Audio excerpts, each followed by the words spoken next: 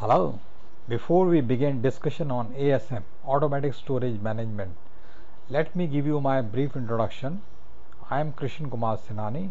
I am Oracle Database Consultant and Corporate Trainer. Yeah. Let us begin with basics of Oracle Database Server. Oracle Database Server comprises of Oracle Instance and Oracle Database. In non-RAC environment, one instance communicates with Oracle database. Yeah. While in RAC, real application cluster, we have more than one instance communicating with Oracle database. Okay. Before we get into ASM, automatic storage management, let us understand basics. Oracle database has got data files, control files and redo log files. Yeah. Data file can you guess what does it store? You are right. It has got customer information. What else? Yes.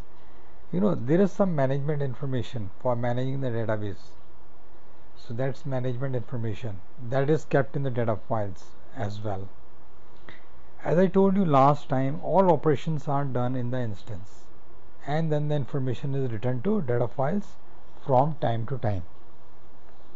Yeah, just like you you do your operations in the memory yeah and then you make notes. And the notes are permanent you know. And whenever you forget anything you look into your notes. Database server works in the same way okay? Now we need to get into detail and understand how to create data file. When we create table space data file is created. Let us say we create table space with size 100 m. Basically data file with size 100 M will be created. And this space is allocated from disk. Yeah? Hard disk is providing space to data files. I think that's pretty obvious. Yeah? You are used to the concept of one disk. Okay? In case of ASM we have many disks. It's called volume. Let us say we have two disks. Disk 1 and disk 2 yeah? And we create disk group it's called volume. Okay. First let us understand the purpose of ASM what is the purpose of ASM purpose of ASM is to stripe the data across many disks. Stripe means distribute the data among the disks. Okay. And what is the second purpose? Second purpose is to mirror the data. Like you see your image in the mirror you know. So it's a copy yeah it's like a copy. Let us say we stripe the data into two disks disk 1 and disk 2 okay and we mirror disk 1 into disk 1a and disk 2 into disk 2b okay so mirroring provides data protection. Yeah data protection. While striping does the load balancing. So any questions so far so everybody is clear that mirroring provides data protection and striping does load balancing. Okay. Now let us create table space once again and this time we'll do it in the ASM environment. Okay. So this time when we create table space ASM file will be created. ASM file will be spread across disk 1 and disk 2 okay. If you are made in charge of providing space to ASM file using two disks. What will you do? Just think about it. Well first of all you will divide the disk into small units say 1 MB yeah? Then you will start distributing the space.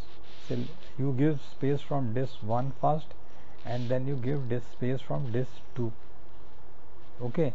In this way ASM file will get disk space from disk 1 and disk 2 is it is it clear to everybody? You know just think about it. You are in charge of distributing the space to ASM file so first you give 1 MB space from disk 1 then you give 1 MB space from disk 2 okay.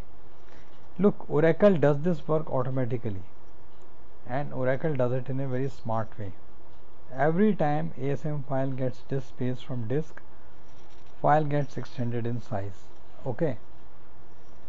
So you need to extend your imagination and think. As the file extends in size it's getting extends from disk 1 and disk 2 yeah? As I told you extent is nothing but a piece of space right? Let me explain again basically ASM disk is formatted to AU AU is the basic unit of allocation.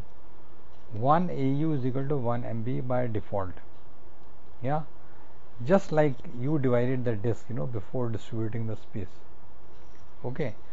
Now in this case ASM file gets extend from ASM disk. Okay? And uh, this is similar to what you did you know I'm sure you can imagine yeah. So let me summarize. We have ASM disk and ASM file. As I explained you last time the file gets a disk space from disk. And ASM disk has something called allocation unit called AU which is 1 MB in size by default. Basically as the file grows it gets extends from both the disk initially one extent is equal to 1 AU is equal to 1 MB imagine ASM file is increasing in size and data is growing in the database. Okay. And extents are getting allocated to ASM file. Let us say we have a disk group DG with two disks disk 1 and disk 2 this is a command for creating disk group. We'll do it in the practical. Okay so uh, now basically when you create uh, table space what will be created? Asm file right? Now asm file gets extend 1 from disk 1 yeah? And as the file grows it gets extend 2 from disk 2 okay? As the file grows further it gets extend 3 from disk 1 and extend 4 from disk 2 and subsequently it gets extend 5 from disk 1 and extend 6 from disk 2 and so on. So basically as the file increases and exceeds the threshold size extents with higher size will be allocated. Okay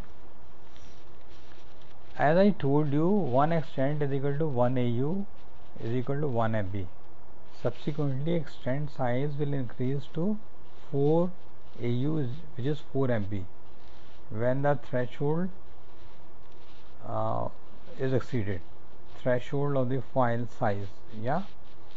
For example 9th extent is 4 MB in size and 10th extent is 4 MB in size okay and uh, this information is mirrored into disk 1a and disk 2b okay.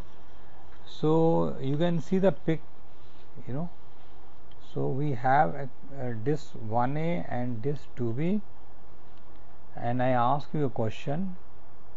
Uh, corresponding to extent 9 in disk 1 what is extent name in disk 1a disk 1a 9a you're right. And corresponding to extent 10 in disk 2 what is the extent name in disk 2b 10b once again you are right. Okay. So this is clear to everybody? Good. Now this is so much information about location of the extents on disk. Suppose I request you to record this information about extents in memory. Yeah and let's say you memorize this information. Then I ask you a simple question. Where is extent 5 of ASM file? You say it's in disk 1 and if I ask you a question where is extent 6 of ASM file? You will say it's in disk 2 fortunately Oracle does it automatically for you and keeps the extent map in memory area called shared pool. Hmm? shared pool is in SGA as you know. Okay? Uh, in SGA there are other structures like DB cache large pool as you know. Okay? So basically where is the extent map in SGA it's in shared pool. Yeah? Is it clear to everybody any questions please? I give you one minute to think and ask me your questions